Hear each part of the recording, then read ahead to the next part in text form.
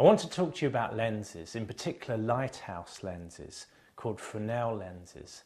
Now in the early days of lighthouses in the 1600s, they were very, very simple. They were basically a tall building with a fire of coals or wood on the top. And in the 1700s and the 1800s, engineers put enormous amount of energy making better and better lighthouses. Now imagine this little light is our light from our lighthouse. It's giving out light 360 degrees. And so as you get further away, it's going to look dimmer and dimmer. But they soon discovered that if you put a lens in front of the bulb, then you could concentrate a lot of these rays into a beam. And with it, you can make a searchlight for a lighthouse. So imagine now if you move the lens around the light, you're going to beam out a searchlight, and you can see that really brightly. Now that's excellent but of course, on your lighthouse, you might have a really, really big light source. And so therefore, you need a really, really big lens. And that's not only extremely expensive and difficult to make, but it's very, very heavy. And they're also very thick in the middle, where most of the light is passing through. And so it actually absorbs a lot of the light. So the very lens that you're using for your lighthouse is actually absorbing a lot of the, a lot of the light. Now, a French engineer called Fresnel overcame many of these problems with the Fresnel lens, and that's what we're going to come to next. Okay, imagine this is a cross section of our lens for our lighthouse. You can see the curved surface here.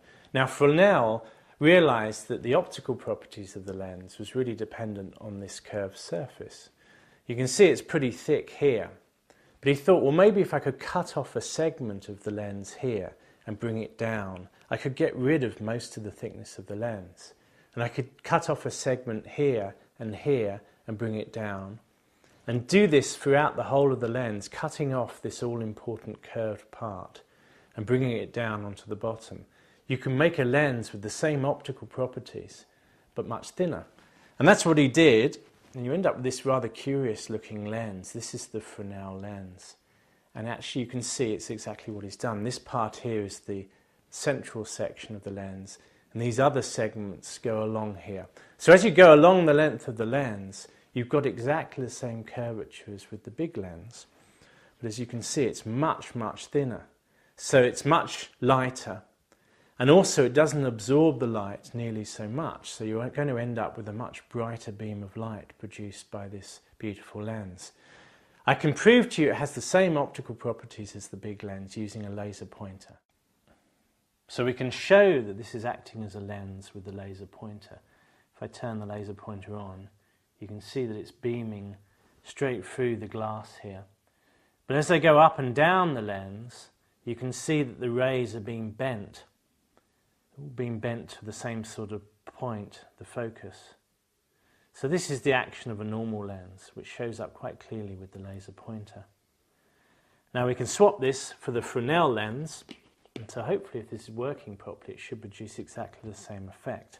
Again, if we fire the laser pointer through the middle, the, the rays go straight through. But at different angles, you can see that all the rays have been basically focused to the same point, the focus point, just like with the, uh, the standard lens. Now there is some distortion you can see when it goes into the next segment here. You get a bit of distortion. So you, want, you wouldn't want to use these lenses in a camera, for example, because you'd end up with a distorted image. But if you just want to beam out a very strong beam of light from a lighthouse, you can see that the Fresnel lens is a very good approximation to the full-size lens. In fact, it's better really, because it's so thin, it absorbs far less light, so you get a very, very nice bright beam on your lighthouse. Okay, so this is a cross-section of a Fresnel lens. Of course, the real thing will be three-dimensional. It would be a round lens. And so we'd have a round centre with rings going around it. These are called the Fresnel zones. So you have this very beautiful lens. Now you can see here a little movie. This is from the second highest lighthouse in France. It's 365 steps to the top. And you can see a pair of these Fresnel lenses. And each of these has a bulb inside. And uh, when the weather's really bad, they use both of these. But usually they just use one to sweep out the lighthouse beam, which can go 30 or 40 kilometers. So this is the beautiful Fresnel lens system.